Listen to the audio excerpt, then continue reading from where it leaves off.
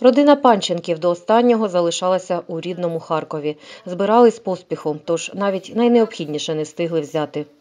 Продержались 9 дней максимум, когда на 10 у нас там бом- летали самолеты над головой и просто бомбили все, что рядом. Мы не выдержали с утра, кинули вещи в машину и уехали. Мрія сина Марини повернутися у школу, аби навчатися, а не ночувати. Сейчас понимаю, что школа это плохо. Там интересно, друзья, тут ин- э, часть дня проводишь в школе. Як і сотні інших родин, панченки знайшли прихисток у гімназії імені Шевченка. Тут класи перетворили на спальні кімнати. Перша ніч була так більш-менш легка, до 100 чоловік. Друга ніч ми прийняли більше 200. Е, Позаминула ніч була дуже важка, до 300 307 осіб. Дуже 11 наших родин прийняло до себе людей. І тут у нас спали на партах, де тільки можна було, вистачало місць, усі пускали. Всі працівники закладу тепер волонтери. Допомагають і олександрійці, хто чим може. Зранку можна прийти, забрати постільну білизну, її перестирати і принести, тому що щоб свіженько покласти наступним ті, хто заїжджають. І е, ну, нема такого, що там, наприклад, дуже довго працювати, дуже важко.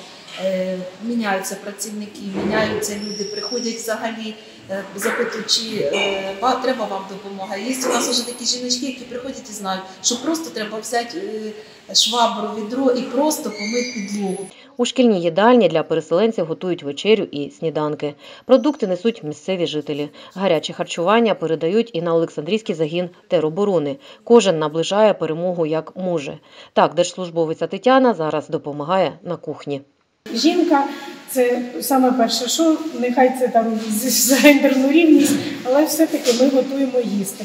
Треба буде будемо надавати першу допомогу. Ну нехай в нашому місті буде все спокійно, нехай хлопці їдять, як кажуть, гаряче харчування, все буде добре, і надіємося на те, що ну все-таки цей день настане скоріше, і кожен вносить свою частинку тепла, добра в кожен пиріжечок, в кожну тарілочку супа. Приймають людей з домашніми улюбленцями. Для найменших є колиски, а для стареньких саморубні ліжка. У нас була жінка 37 року народження, яка пережила ту війну і дожила до цієї війни. І вони не можуть просто фізично лягати на підлогу. Тому ми ось придумали ось таке, е, поставили лавочки з їдальні і робимо їм такі умовні ліжка. Переселенці дякують олександрійцям за прихисток і їдуть далі. У більшості випадків навіть не знають, куди саме. Нет, не знаю. То есть вот приехали пока сюда, куда дальше, ищем место. Євгенія Ніколаєва, телевізійні новини, СІБІН.